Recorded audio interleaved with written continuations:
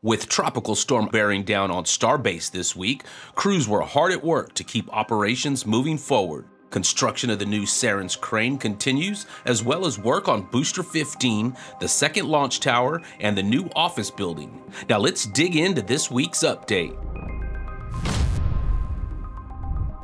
Early on Friday morning, construction crews began placing more concrete at the ground level of the new office building. A wall section for the second launch tower's base was picked up by the LR 11000 ahead of installation and relocated near the Grove crane. Concrete was placed near the front entrance of Mega Bay 2, firming up the groundwork at the site. Back at the launch complex, piling work continued at the second tower construction site with the continuous flight auger drilling holes for new piles. Once drilled out, a rebar cage is lowered into the hole, making it ready to be filled with concrete so it can bear the loads of a tower, launch pad, rockets, and other heavy machinery. Crews were also at work on one of the Booster 15's liquid oxygen tank sections outside of Mega Bay 1, inspecting and surfacing the edges of the section walls ahead of assembly and welding. A new corner column for the second launch tower was lifted from where it was staged the day before and set down at its final position on the tower foundation.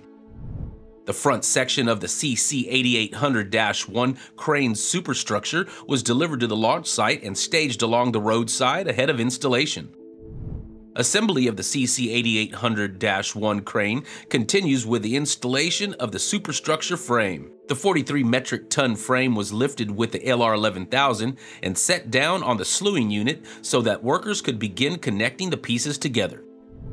Back at the build site, an excavator began breaking up the concrete pad at the site of the old ring yard. After more than 10 hours on site, workers completed the placement of the concrete at the office building construction site and began packing up the pump truck. While assembly of the tower's base level was underway, workers also began installing the CC-8800's winches on the crane's superstructure. The first beam between the new columns was hoisted into position, stabilizing the columns ahead of installation of the first blast wall at the tower's base. Meanwhile, the second winch for the new Saren CC8800 crane was brought up and put into place. While this was underway, ironworkers were eventually able to get the beam lowered into place as well. As the ironworkers continued to install the beam, the third and final winch was installed on the crane. With the winches installed now, the next phase of crane assembly could begin. The first prefabricated steel wall section of the second tower base was lowered into place. These prefabricated steel segments, held together with spanning ties, will be filled with concrete to add strength and rigidity to the tower. As indicated by the sighting of another pump truck, concrete placement continued in Mega Bay 2 as teams continue to build out the facilities and floors. Following the initial placement, the wall section that had been set down at the base of the tower was lifted up again, and workers were quick to adjust the segment's positioning before lowering it back down, guiding it by hand for the final placement. Following a slight lull in activity, additional components for the new CC-8800 were delivered to the launch site in the evening. Later that night, an inspection crew working from a boom lift began looking over the remaining vertical cryotank shells as work continues to demolish the decommissioned tanks. The fourth and final base column was lowered into place shortly before midnight. This column features additional attachment points for the Drawworks hoist and other hardware that drives the tower's major systems. Saturday morning saw the fourth column unexpectedly removed from the tower base and set down off of the foundation. Half an hour after the column was removed, the issue that caused its removal was resolved and work began to set the column back into place. Another bracing beam was installed on the tower's base in the afternoon, rigidly tying another pair of columns together. Construction of Booster 15's LOX tank section is nearing completion now, with the liquid oxygen tank having now reached 20 out of 24 ring segments in height. After being damaged in the previous launch, the ship quick disconnect panel arms position adjustment hydraulics were repaired. After helping out with the assembly of the Sarens owned CC-8800, SpaceX's LR-11000 went back to the tank farm to resume scrapping the vertical tanks. Back at the build site, a new booster downcomer was lifted into Mega Bay 1 for installation on Booster 15.